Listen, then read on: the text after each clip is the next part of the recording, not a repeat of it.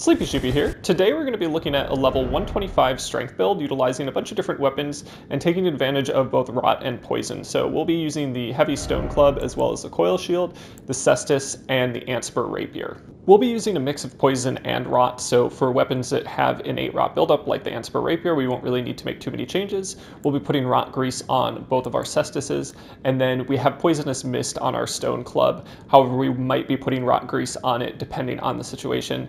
And then we also have the coil shield, which is a great way to proc deadly poison rather than just the regular poison buildup. As for our armor, we'll be running the mushroom crown, which boosts our AR when we proc poison or rot. We'll also have the fingerprint armor, gauntlets, and greaves, just to bring us to 71 poise with the Bullgoat Talisman. And then we'll also use the Crimson Amber Medallion plus 2, Millicent's Prosthesis, and Kindred Rot's Exaltation Talisman, which also boosts our AR when we proc poison.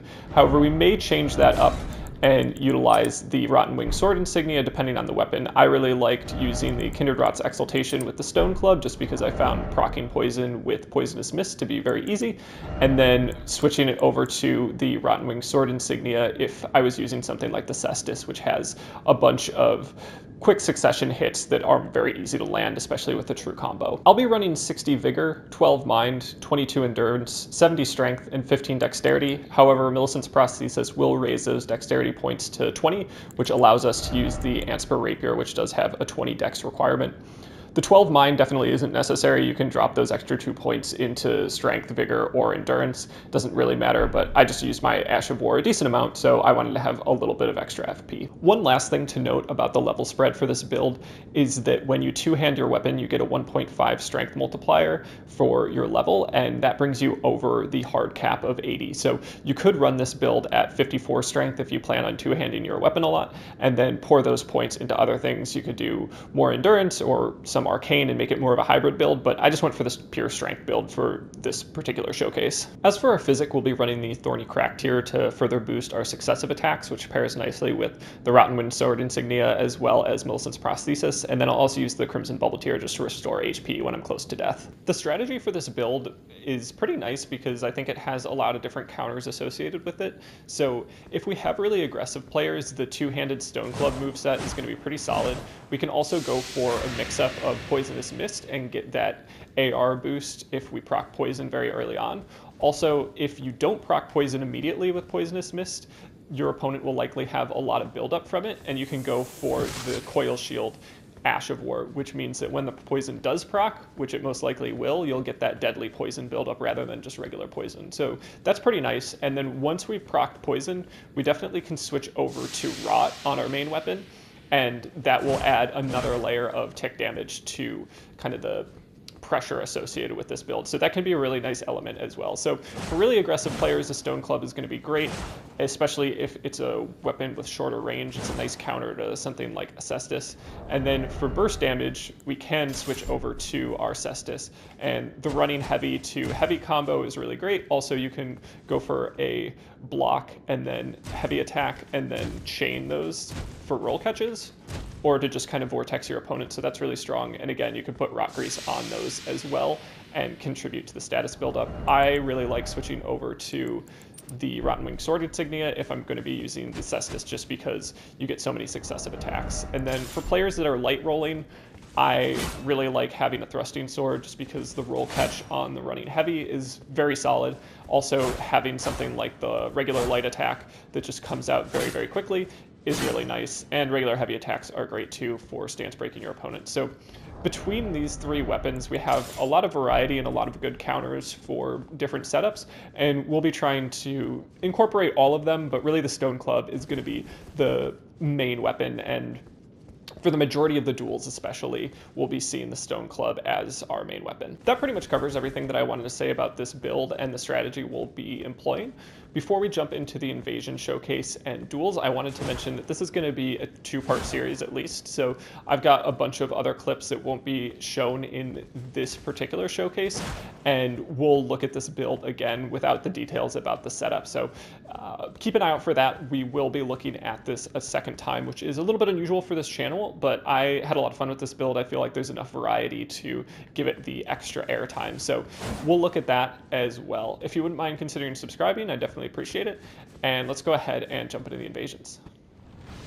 All right, so jumping into our first invasion, we're in the Farum Azula pre-boss fight area for Maliketh the Black Blade, and we're dealing with two melee players. Somebody's using Bleed, and we also have a person casting in the back. So I've used Spellproof Liver just to negate some of the incoming magic damage, I definitely recommend that. If you have the time to utilize a consumable like that, it can be really nice just because you'll frequently see a lot of consistent spam and if you can negate any incoming chip damage just as much as possible, if you mistime your roll or something or need to go for a trade, it'll be helpful in the long run. So I'm going for a lot of whiff punishes on the player with the Colossal Sword, and I'm also trying to keep my opponents frosty. So using something like Frost Pots is going to be a great way to just get the most out of every single hit that you land because their damage negation is lowered by 20%. So every single hit you do land is going to be a little bit stronger.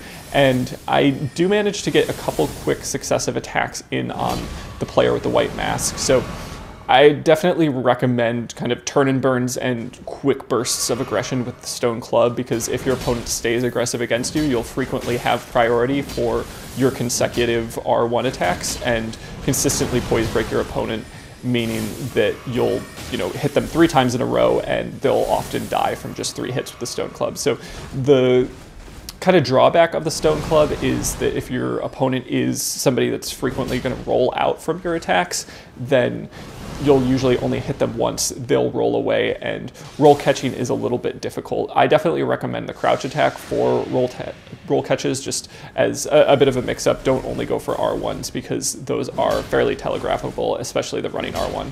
So eventually it's just the Colossal Sword and the Mage that I'm dealing with. I'm still going for the Whiff Punishes with the Stone Club.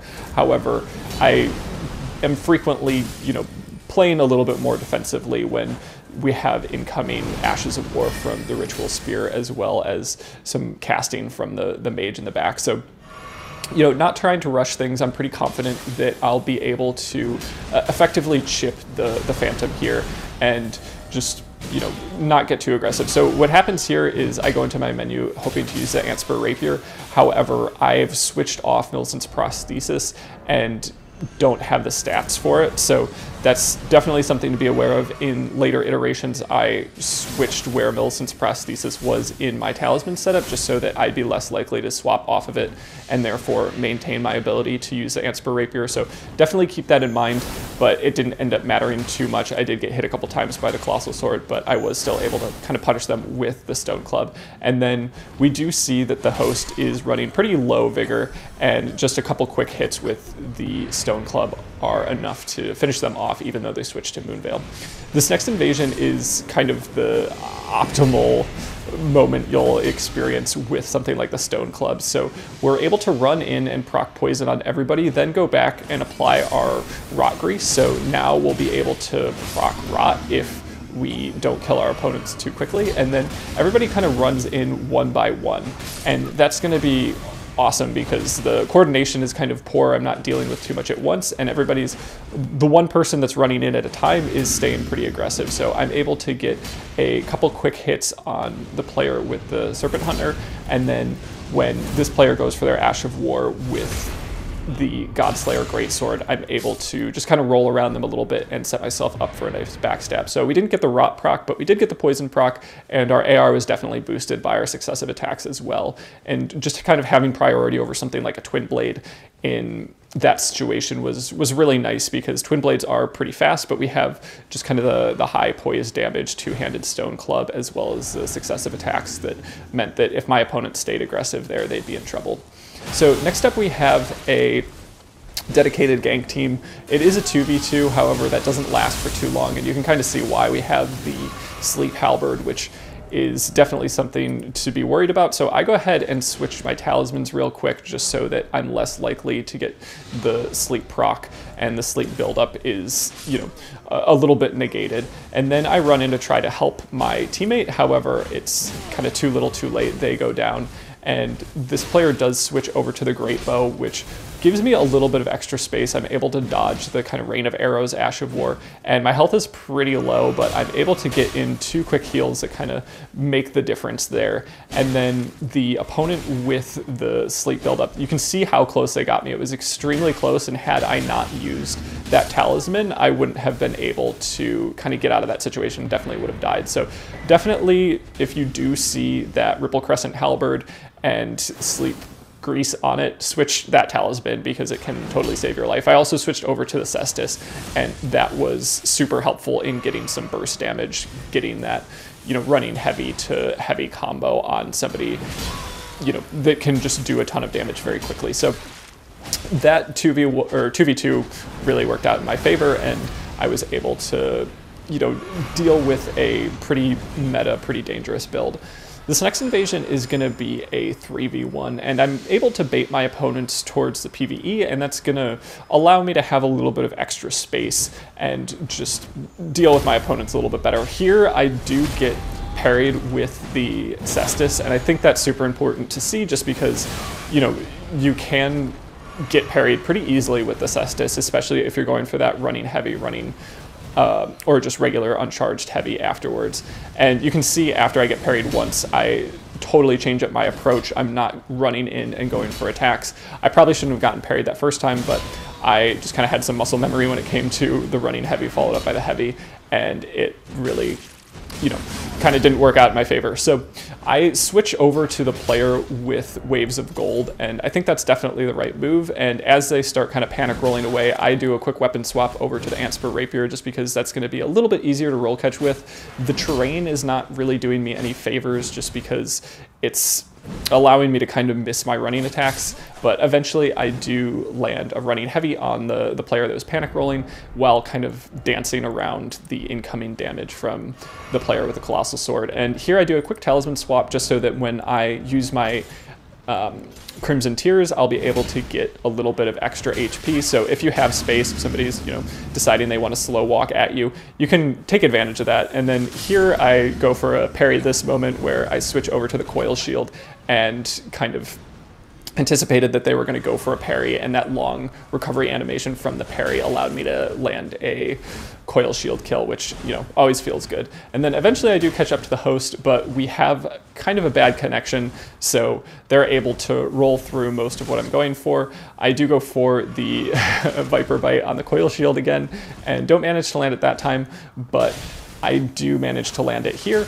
And so Deadly Poison is now procced, which means that I can switch over to a setup with Rot. So I switch over to the Antspur Rapier. This is also a little bit better for just dealing with the, the bad connection. If I have something like Deadly Poison in the mix, as well as something like Rot, then I don't really have to worry as much about the bad connection. Those things will be affecting the player regardless of if I'm landing hits. And phantom hits are definitely more effective against, you know, a, a player with a little bit of lag as well. So I'm just trying to not get blood loss buildup and, you know, they're wearing the white mask, so I'm conscientious of that as well. And eventually they go for a couple trades. Antspur Rapier is definitely faster than their attacks and I'm able to proc Rot as well. So I've procced Deadly Poison and now Rot's in the mix and my AR is buffed. So I switch over to the Caestus and just grab a couple quick hits that are enough to kind of kill my opponents there. So Next we have a 3v1, and this is just going to be another showcase of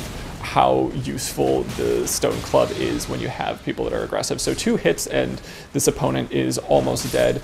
Going for the chase down is a little bit difficult with the Stone Club. Again, I do recommend crouching attacks even though I didn't go for it there, but I was able to kind of chase that opponent down, get that kill, and then backstab the host, and then oh, the uh, Phantom rather, sorry, and then it's just me and the host left. They do pull out a coil shield of their own, so I feel like I'm obligated to pull out mine and do land a Viper Bite followed up by a Stone Club hit that is enough to finish off the host there. So a very quick just 3v1 and a moment I was pretty happy about. This next 3v1 is going to be one that involves a light rolling player with the Eclipse Shotels and then two Phantoms that uh, one of them is casting a bit and then I believe the other has Bloodhound Fang.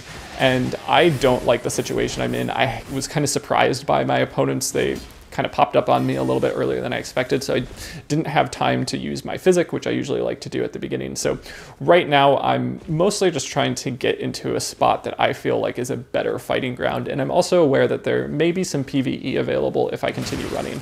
I'm also not letting them get too close, so a quick turn and burn when they're a little bit uncoordinated can be helpful to just try to get people to back off. So if everybody is close together and you'll get blendered by turn and burning, I, I, don't recommend it at all. But in instances where you can just kind of turn around and get one or two quick hits in, it's, it's going to be great, especially if you have a weapon with low recovery time on the attack animation. So the stone club I can just roll out of or run away from almost immediately. But if I were to use a colossal sword or something, then the turn and burn would really commit me to that spot for longer than I'd want to be there, and I'd be more likely to get blendered. So I'm also throwing some freezing pots, just, you know, any extra damage I can do, as well as getting my opponent's frostbitten is going to be helpful. And I'm continuously just kind of rolling down this hill because I do know that there is a dragon in this area.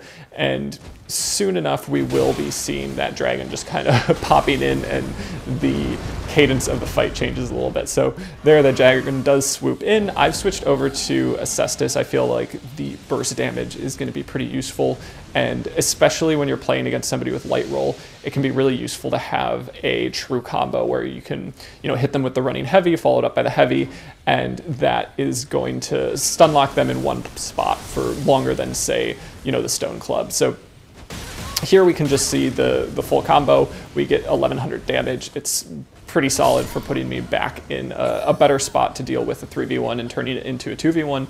And now there's one less player to deal with. Everybody's backpedaling. So really the, the cadence of the fight is totally different now. And I have the opportunity to be a little bit more aggressive and just kind of utilize the aggression of this build. So we have the host and light rolling player just kind of abandon their phantom here and my build is going to be a, a, lot stronger against somebody with just the, the Bloodhound Fang. If I stun lock them once, I'll be probably in a good spot to, to Vortex them. And we do see some aggression from the host, but I get them very close to death. Back off a little bit, but throw some fan daggers in their direction, and then that allows me to switch my attention over to the player with Bloodhound Fang. And we do get the host coming back in to try to get a little defense uh, for their Phantom, but it's, again, too little too late and we are in a much better spot here. And again, we have another player with dual curve swords, and we can see how the priority for the Stone Club wins out in those moments. Especially if you know you have at least a little bit of poise, you'll be able to kind of tank some of the incoming hits and poise break your opponent consistently. Obviously, this light rolling player does not have much poise, and we kind of begin the the chase down sequence. So I switch over to the Antspur Rapier because one, I can proc Rot and I've already procced Poison, so we can kind of maintain the chip damage. And they're light rolling, so having something that's a little bit better for roll catching is going to be pretty nice. The running heavy has enough forward momentum where if you are close enough and they do light roll, you can still time it for a roll catch. So that's going to be pretty helpful. They are doing a decent job of kind of keeping jumps in the mix as well as turning a bit. And I'm also using fan daggers. When you have an opponent that is running almost no armor, fan daggers are super effective because they are more likely to poise break your opponent even though they're fan daggers and they do just a lot of damage. So definitely recommend utilizing fan daggers in the mix when you do see an opponent with almost no armor because it, it is going to be super effective at kind of slowing them down and just doing chip damage. So next up we have a 2v1 and this one was kind of interesting. There's a lot of patience on both sides I think. I was trying to kind of funnel them through this doorway and they weren't really taking the bait. And I also had a very hard time popping the bubble for the Phantom with the Blasphemous Blade. So I go for a couple different fan daggers on them and just kind of either get unlucky with the aim or, you know, just don't get a connection with the fan daggers. So I'm not going to commit myself to a an attack that I know won't do any damage. So I really am kind of I, want to land the fan daggers before I go for an attack with my stone club.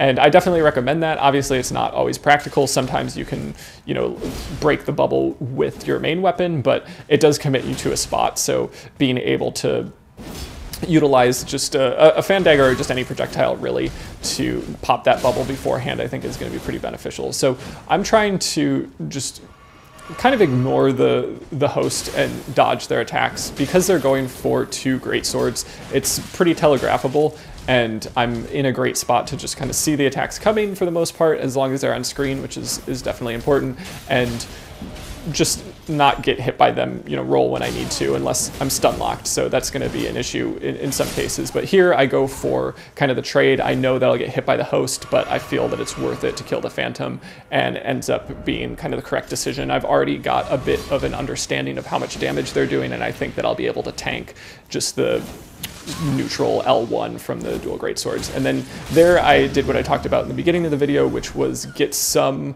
of the poison proc and then switch over to the coil shield to get the rest of the poison proc with deadly poison rather than just the regular poison. It didn't end up mattering too much, but the Viper Bite does does uh, it does a decent amount of damage, and it, I think it scales with strength as well. So, you know, having some sort of more ranged attack with weird timing can be great. So this next one I just thought was kind of funny. I did some talisman swaps at the beginning so I'd be able to use rejection and just ran over to the host and kind of yeeted them off the chain. So uh, knowing what options you have available with talisman swaps I think is important and if you show up in a spot like that I think it can be great to just utilize something like rejection to have kind of a little bit of extra fun. So this next invasion, we've knocked two players down into the hole, and we're left with just an isolated third phantom. And once we kind of get the rhythm of their attack patterns down, we're able to stance break them with just a couple light attacks from the stone club and take care of them. And then I begin kind of the chase down on the other two players. So it takes a little bit of time. It is nice because the poison means I can see where they are on the map more generally, just because it's taking their damage. And I do jump down and kind of miss that jumping attack, so not great there. But I, you know, go into for some trades with this opponent and just the second trade there is enough to take care of them. They weren't going, they weren't landing as much damage. I just proc poison with poisonous mist, and my AR was buffed significantly, so my trades do win out against them. And then here, the chase on the the host was, you know, a little bit tiresome. I, I edited some of it out, but we do switch over to the Antspur Rapier just because it's a little bit better for chasing down. And then my opponent does get pretty close to the fog wall. I wasn't sure if they were going to fog wall or go for the site of grace. Had they been going for the site of grace and there wasn't a fog wall just, you know, right in that spot, I probably would have let them grab the site of grace, but uh, you know, you, you, really can't be sure when you have a site of grace so close to a fog wall. It's just kind of better to nip that in the bud as soon as possible. So next up we have a 2v1, and this Rune Arc host gets very close to dying almost immediately. We've got um, poison in the mix, but it doesn't quite proc, so they were able to kind of get away.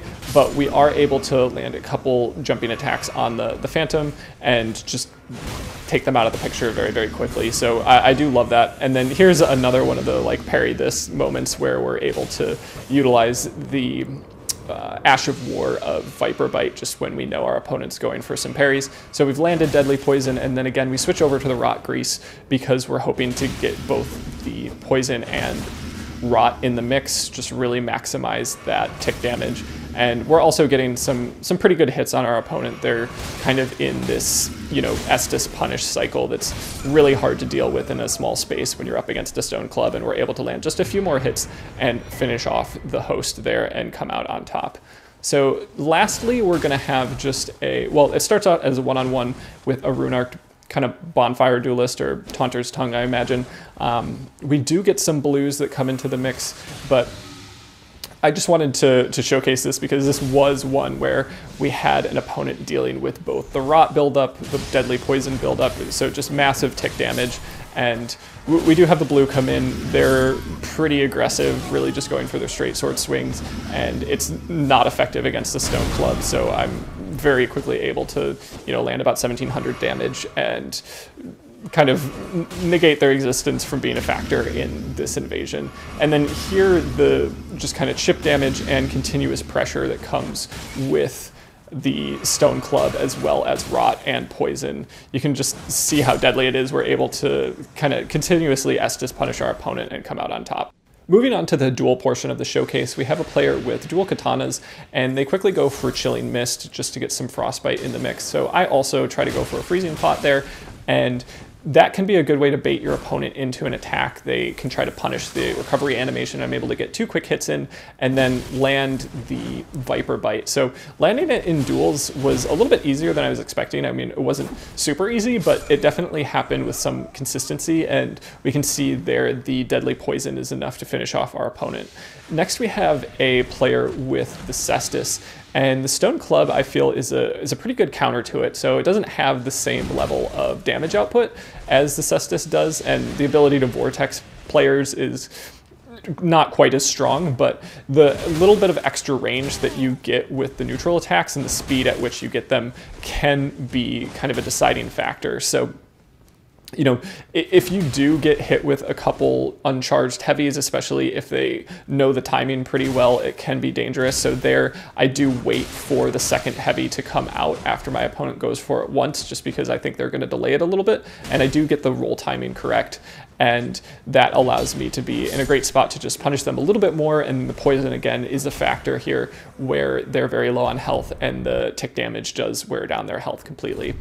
And I also find the Stone Club to be pretty useful against something like dual straight swords. So here we can see a, a very meta build. We can, you know, we need to be wary of the damage output that comes with it, especially if we get stun locked, but the dual straight sword setup does have a 69 poise damage breakpoint, so having our 71 poise is going to be an important factor when, you know, tanking one hit from the dual straight swords. And, you know, they, they could be going for chip damage or something with the fan daggers, but it doesn't end up being a factor here. They're really sticking to the straight sword setup, and we're able to land a couple of light attacks and also proc poison, and that adds a little bit of pressure, and then we're just able to kind of uh, understand that they're going to go for a neutral attack and punish it with a jumping attack. So this next player was uh, using a build that I wasn't a huge fan of. They'll spend the majority of this fight running away, and you know they are a mage, so that's you know the optimal play style in a lot of instances. You know, run away and then go for stun locking, turn and burn, something like the spinning weapon that goes on staffs, which is it's not something to ignore. It's very powerful and you can really lose a lot of damage. They were going for Carian Slicer, but I was able to read that attack well enough to get a stun lock on them. But the continuous use of these kind of dagger, I think it's the, the phalanx, is going to be a factor for sure. And I need to maintain my health as much as possible, really choose my moments when to be aggressive and when not to be because their ability to turn and burn is very strong. So there they go for spinning weapon, but I'm able to stun lock them first. I think using fan daggers more throughout this particular duel would have been a good way to kind of punish the fact that they're light rolling and using very uh, low defense armor. But I am able to just kind of continuously pressure with the Antspur Rapier and just, you know, dodge their incoming attacks well enough. If I had a little bit more time as well, I would also be trying to negate the damage with a Spellproof Liver or something. But there I was able to dodge their Carian Piercer, which was definitely a good turn and burn idea by them, and get another hidden. And now I'm feeling like I'm, you know, more close to being able to kill them. So they go for an FP uh, drink, and I really would have liked to punish that, but I was able to get them with just a running heavy. I think they thought they were spacing well enough, but they were kind of incorrect with that decision. So I was very happy to come out on top against a player using that type of build. Those builds are not fun to play against, in my opinion, and just uh, very effective. So next up, we have a another player using a great sword as well as an offstock, and we're able to punish that pretty well with the stone club, and then go in for a bit of a trade against sword dance and just land the last bit of damage necessary to come out on top. And then next up we have another great sword player. This player uses uh, Bloodhound Step quite a lot, as well as some consumables, so we do need to look out for that. But just spacing them well and not getting too aggressive is important. You can definitely get caught up in a bunch of great sword attacks if you're not careful. So I'm trying to play unpredictably, you know, go for one attack, go for two consecutive attacks, but not really do that with any particular cadence or repeatability and just look out for their bloodhound step because it's you know, going to get them away from me pretty effectively. And if I can wait for them to Bloodhound step, go for their attack, and whiff punish or something, then I'll be in a good spot. But eventually, I am able to get the last bit of damage just against their back step, which was I'm not sure if it was intentional or if they were going for a ravioli step, but either way, uh, we were able to come out on top there. Next up, we have a, another fight against a greatsword player, and they're using the pokes pretty pretty effectively. I'm able to land the coil shield viper bite early enough after you know not landing the poison proc with poisonous mist and then just get really aggressive towards the end there so playing passively and then switching over to like pure aggression can definitely be a way to catch your opponent off guard and really land a bunch of hits in a row so here again, we're able to proc poison very early in the fight, which is definitely ideal. And then the slow attack speed of the Magma Curve sword is really just easily punished by the Stone Club, and we get lots of quick attacks there that kind of finish off our opponent. Next, we'll be playing against a melee wizard hybrid build, so we're going to need to look out for the incoming projectiles as well as any damage with their main hand weapon. So they start off with a dagger, however, they will be switching over to a colossal sword, and they're going for attacks with a glintstone crisp, but I'm able to actually punish that with a viper bite attack. So deadly poison is now in the mix, and we can be a little bit more aggressive, especially with our health advantage. So going for some trades there are okay, and I'm able to, you know, get them in a pretty bad spot. I do need to be a little bit more careful now because uh, my health is low, so if I got hit with one more Colossal Sword, I would have died, but I was able to play it a little bit more passively since Deadly Poison was chipping them at a pretty significant rate. This final duel is going to be against a player that switches over to the Watchdog Greatsword pretty quickly, and they're also utilizing the kind of status effect negation that comes with the Spiral Horn shield and probably change their talismans as well. And you'll see how that comes into effect where here we're able to land the Viper Bite even after hitting them at least once with the Stone Club, which is poison buildup, and we're not able to proc poison. So they did a great job of kind of punishing one of the main aspects of this build. And in a situation like that, switching away your talisman of Kindred Rot if you don't have that on and switching it to something like the Claw Talisman or the Rotten Winged Sword Insignia would be a good way to kind of counter their counter of the poison of this build. So we are in a pretty decent spot. They go for a Poison Bolus, which is a little bit harder to punish with this setup just because the range of the Stone Club isn't great. I find that a jumping attack is usually the best way to punish a Bolus use, and there you can see we do actually land one. So they went for it at kind of a bad time I wasn't far away enough, and we were able to come out on top there. As always, if you made it this far, I just wanted to say thanks so much for watching. Definitely appreciate all the support. And if you have any build suggestions or just general questions about this build, definitely let me know. I'm always happy to take a look at new build ideas or answer questions in the comments. Yeah, that's all I've got, and I hope you have a good one.